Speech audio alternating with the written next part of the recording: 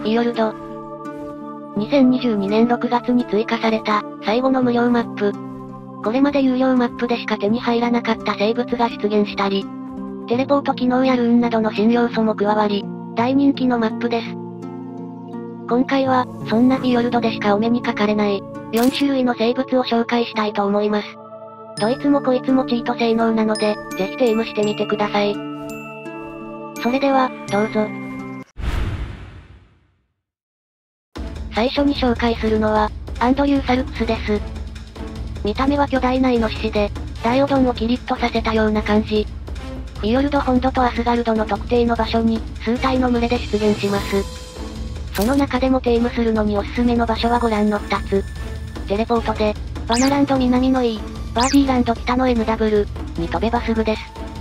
この2つの場所がおすすめなのは、テームに必要な蜂蜜がすぐ近くで取れるからです。さて、その肝心のテーム方法ですが、蜂蜜を下のアイテムスロットに入れ、バレないようにこっそりアンドユーに近づきます。バレると攻撃してくるため、装備はギリー装備がおすすめ。近づいたら蜂蜜を投げます。食いついたら一気に近づき、いいキーで起乗します。起乗したらこのように左右どちらかに出てくる三角印に合わせて、左右のキーを押していきます。そうすることで黄色のテーム値が溜まっていきます。一方もう一つの赤いゲージにも注意。こっちの赤いゲージが満タンになると振り落とされる上に、敵対して襲いかかってきます。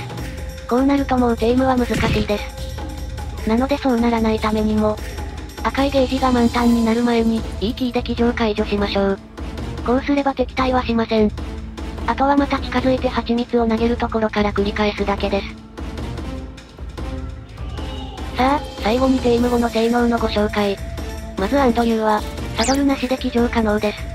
サドルの解放レベルは74とやや高めなので、それまではありがたいですね。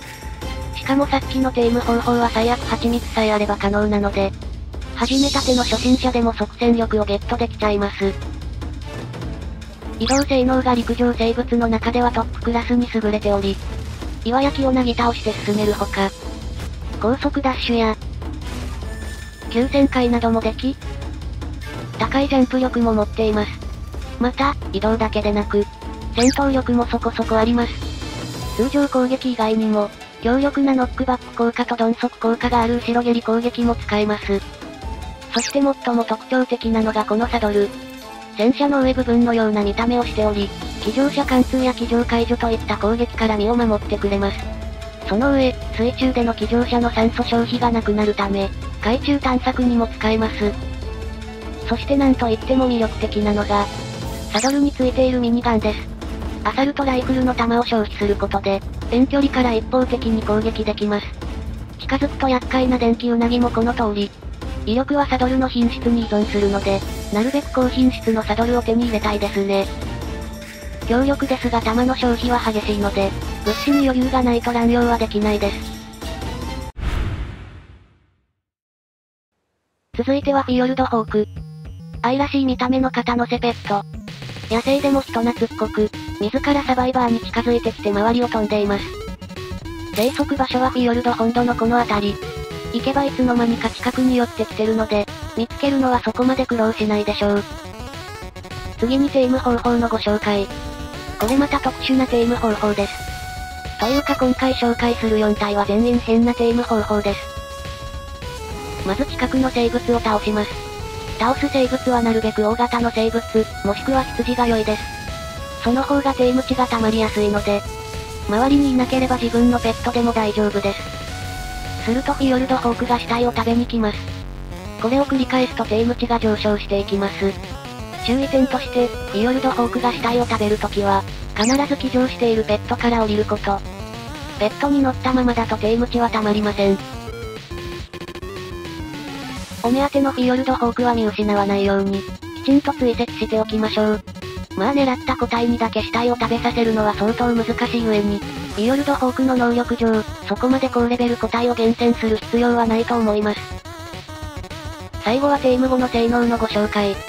先ほども言いましたがフィヨルドホークは肩乗せペット。こんな風に肩に乗せておきましょう。可愛いですね。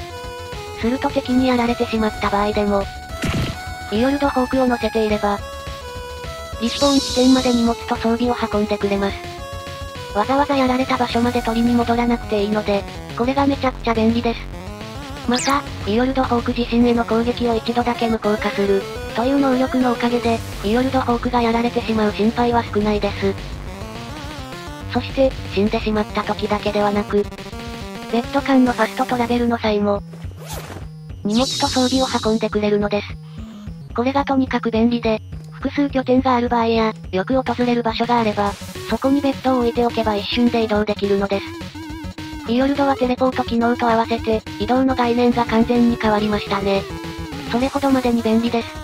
最後にもう一つ、地味ですが意外と便利な能力が、敵生物のおおよその残り HP が表示されます。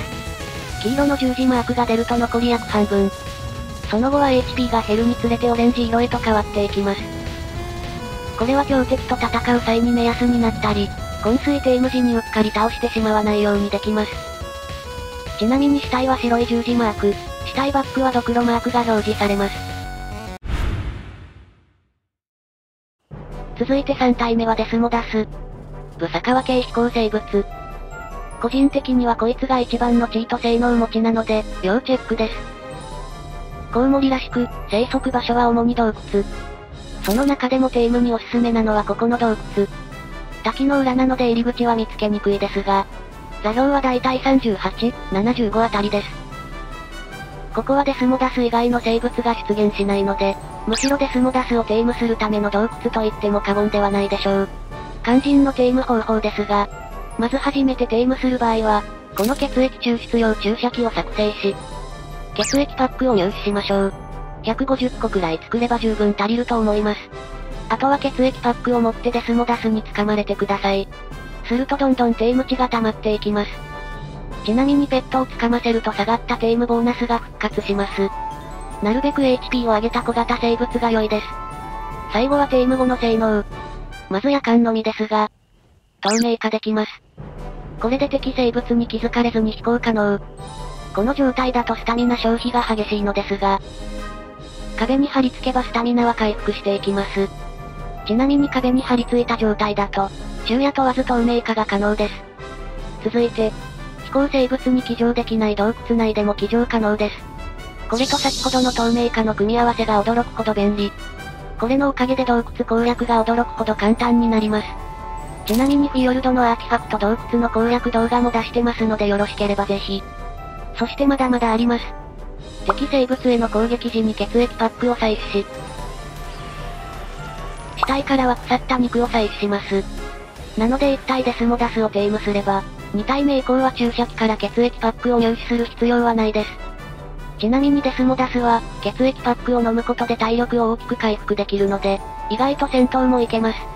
血液パックの使い道は他にもあり、サドルを装備させたデスモダスは、サングインエリクシルを作成できます。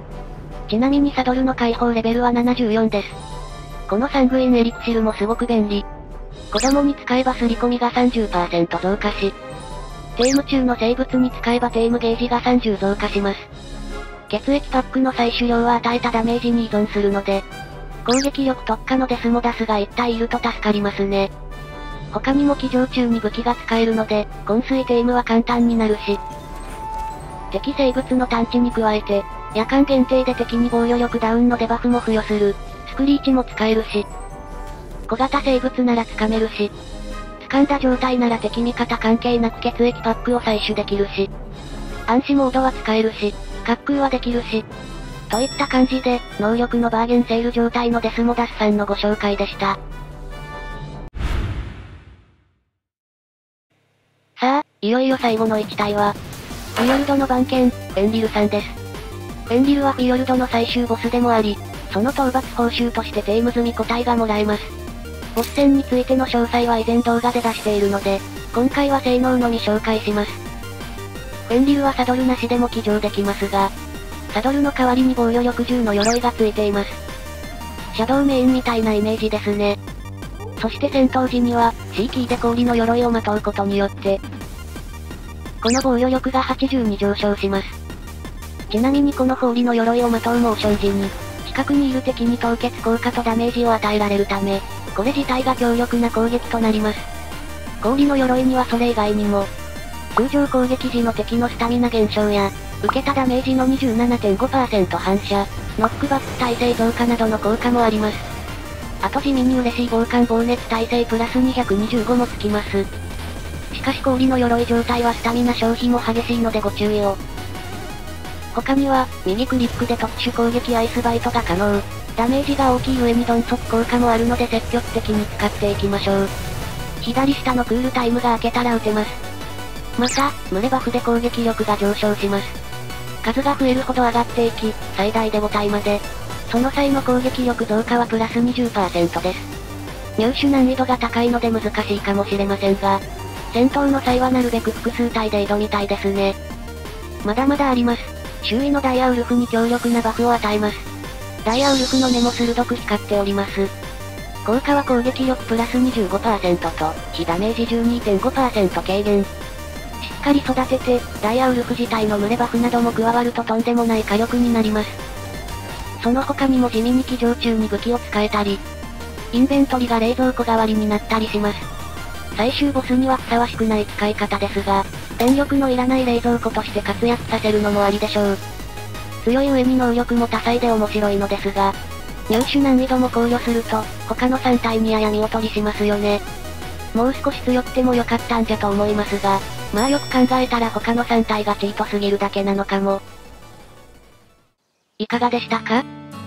フェンリル以外はショート動画の方で紹介済みだったので、もともとボス戦攻略の流れでフェンリルだけ紹介しようと思っていたのですが、ちょっとショートでは魅力を紹介しきれていないなと思い、4体ともまとめて紹介させていただきました。